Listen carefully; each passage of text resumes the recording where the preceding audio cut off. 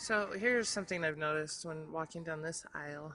I noticed a lot of the boxes are white, and the ones that really stand out are the Fisher Price red that you see on the boxes. Not that those are really appealing to customers because they're kind of up high, but the things that are more appealing are the products that are on display for people to interact with because you can't get this type of interaction with a product just sitting in the box.